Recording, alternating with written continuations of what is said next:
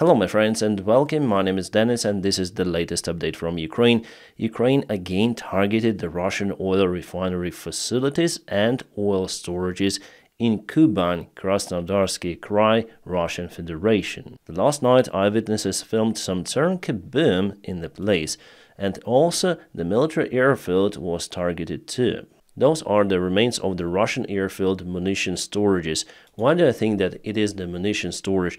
Because if you look at those devices, well, those are the gliding units for the Russian aviation bombs, as well as this stuff too. So many, many of them were damaged in this hangar. This is again Kuban, so Krasnodarsky Krai of the Russian army, and here we may see more of those devices. So, so Ukraine knew what to hit. The airfield is located near Kushevskaya village, and here is the hangar. It was identified by the Astra channel. This is the Russian opposition channel. And this is the Russian oil storage in Smolensk that was targeted around two days ago.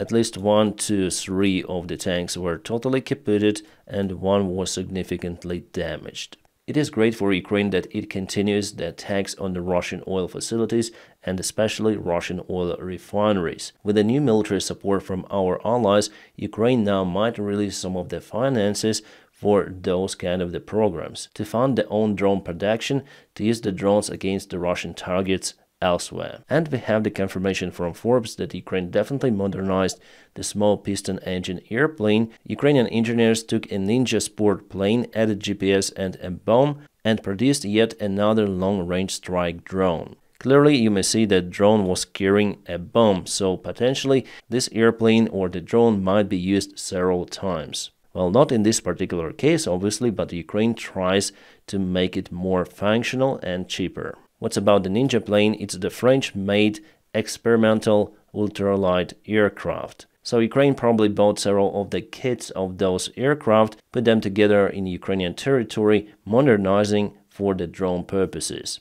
A very cheap solution and could be very effective. We already saw how those drones targeted the Russian Shahed production in Tatarstan, which is also the part of Russia. Meanwhile, Russia tries to protect their oil facilities against the drone strikes.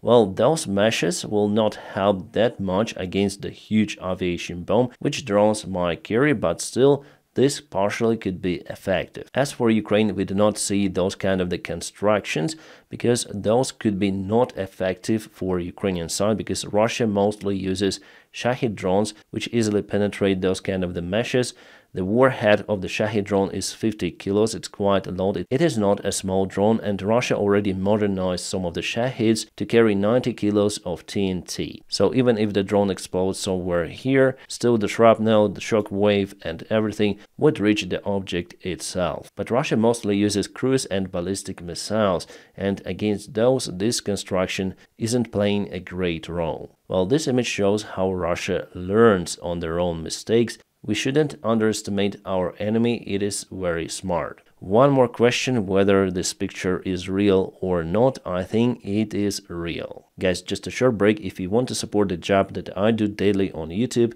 you may join my Patreon page. It is available if you follow the link in the video description just below, or you may just scan the QR code available on the screen. Thank you so much for your awesome support. Ukraine also started to use the aerobatic airplanes. In particular, this is Yakovlev 52, the Soviet-made airplane. Looks like a fighter jet from the Second World War. Those could be capable against the small Russian surveillance drones, as in this case. So Russian Orlan 10 drone was targeted from this airplane. Sorry, here we have some of the watermarks, but anyways, let's watch the video. So as it was reported at first, Ukraine installed a directional mount machine guns mounted in the airplane construction, for example, under the wings. But later on there was the other information shared that the other pilot on behind, this is the tandem airplane, so it has two of the pilots. It is used for the training of the aerobatic pilots. So the person in the front or in the back are using AK-47 or 74 to hit the enemy drone. Let's watch this video. So here we go with the airplane Yakovlev 52 and this is the Russian surveillance drone which is flying down on parachute and clearly I may say 100% that it's not far away from Odessa so Russia launches their surveillance drones even to Odessa region near the city. The Yakovlev 52 is kind of popular aircraft. You may find them also abroad in United Kingdom and also in the United States of America, and we have many of them still in Ukraine. Then I was a student of the National Aviation University. I also worked as a technician on those airplanes in one of the local air clubs. I know the construction of the airplane quite well. Well, even though it looks like the fighter jet from the Second World War, but still it is underpowered airplane compared to those very powerful fighter jets. It has just 360 horsepower. Nevertheless, the look and the sound is amazing. I believe that the machine guns could be really installed but only under the wings of this airplane. It's impossible to make it through the crankshaft of this particular engine. Well, everything is possible, but it would be really expensive. I still do not have the full image of the airplane, but we have at least the part of it. It shows that the airplane was painted in Ukrainian Air Force colors. So definitely it is a Ukrainian army program to use those airplanes. Yeah, far away from the front lines, but if you dare to use them close to the front lines, no, those airplanes would be hit by everything. Well, actually, I got this idea to use small piston engine aircraft or turboprop aircraft to fight against the Russian Shahed drones and other stuff. And we know that the British Spitfires intercepted the German-made V-1 cruise missiles at the very end of the Second World War, so the same stuff could be done with Shaheds. But now the problem is that there is also a ground fire from our mobile units, which also might harm Ukrainian airplanes. And for this specific reason, you see that the wing of the airplane is colored with lots of the blue and yellow from the upper side and also from the down side for our soldiers to see that it's the friendly airplane. This is the particular Russian surveillance drone Orlan that was shot down by Ukrainian Yakovlev 52. You may even check out the parachute. Meanwhile, the last night Russia again targeted Ukrainian infrastructure. The aim was in Lvivska Oblast. Russia hunts for the Western equipment that was already delivered partially to Ukraine, and also they want to cut railroad supplies, so they hit the railroad stations. One of the missiles targeted the object 15 kilometers away from the Polish border. For the last night, Ukrainian air defense was able to shut down 21 out of the 34 missiles, so 13 of the missiles hit their targets. It means that Ukraine needs more air defense. Around three days ago, President Macron said that it's impossible to secure all of the Ukrainian territory because Ukraine is too big, and for it, it requires around 25 of the Patriot systems at least. Just to remind you, Ukraine has two of the systems. Germany will supply one more system, and there are some talks about more systems. Also, the United States of America might supply their Patriot system to Ukraine. This year, Russia really hit Ukrainian energy infrastructure, and during the winter time, it will be very difficult for Ukrainians. About the Russian helicopter K-32 that was burned in Moscow, the Russian media confirms that helicopter was kaputted, but it wasn't the army helicopter, it was a firefighter just for the Moscow region. Russia has delivered the captured Leopard 2A6 tank to the Moscow parade. Yeah, finally Russians were able to evacuate one of those tanks from Avdiivka region, but at the same time they lost many of the evacuation crews.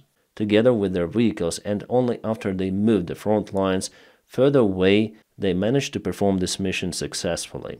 And now they will use it for their own propaganda. Unfortunately, Russia targeted the Kamenka airfield in Dnipro city. It is a general aviation airfield and two of the hangars, I think this one and this one, were ambushed by the drone or something like that. Russians say that there were some of the UAVs inside, but for me it's hard to check. We're unable to spot it on those kind of the images.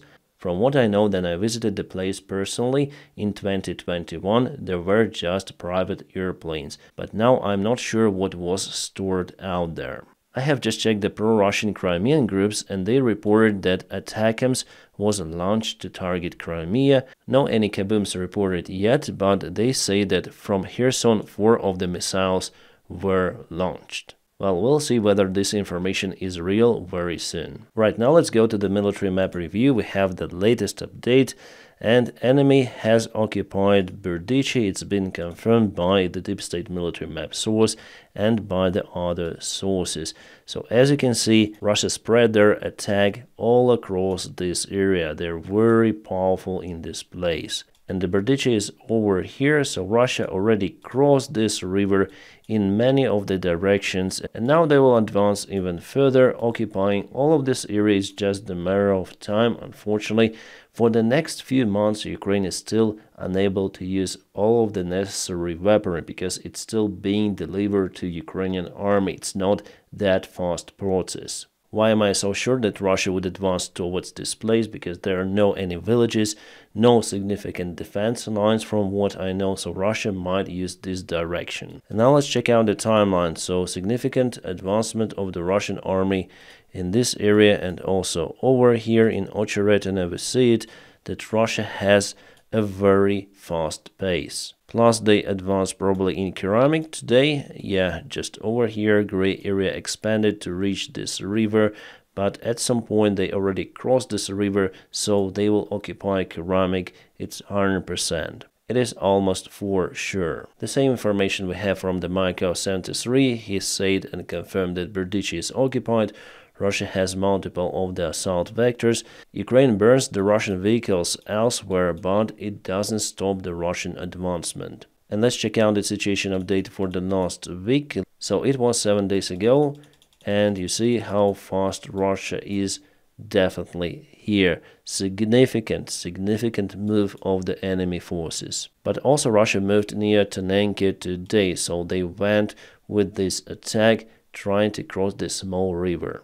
And definitely we may see that they did it, they already crossed it based on the Maikao 73 source and he monitors all of the enemy and friendly channels, analyzing the drone images and other information, so I trust him, usually what he publishes is real. Russia was stopped for two of the weeks near Tonenke, but now they continued the movement because they reinforced their group with fresh forces. Also, Russia progressed in Kharkiv Oblast in Kislivka village, so it is today, it was yesterday. We can clearly see that they are taking more ground and probably tomorrow they will occupy all of the settlement. Definitely not many streets left. And the other source also confirms this information. Unfortunately, guys, on the front lines now Ukraine doesn't have the initiative. Russia took it fully, but for how long well, I believe two or maximum three months. After that, Ukraine will stop Russian advancement, but still will not be able to start its own big counteroffensive,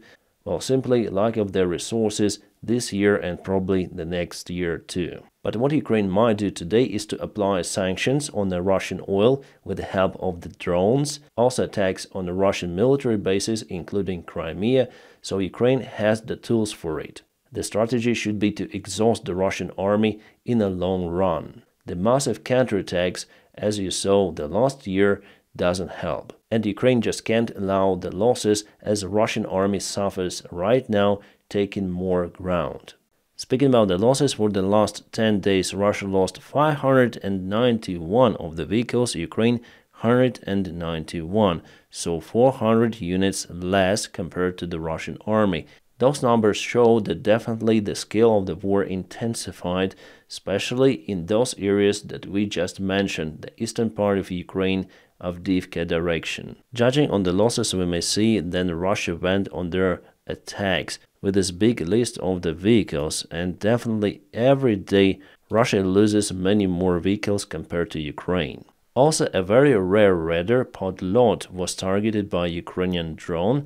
As you can see, it is working, so it's not a Russian decoy or something. It was hit by the drone and later on many other drones flown to finish the vehicle and it was finished. The Podlot system is able to identify the aerial targets like drones and airplanes, but somehow drones hit it. My friends, please don't forget to press your huge like to this video, by doing so you help me a lot and as usual, I wish you all a peaceful sky wherever you are and have a great time.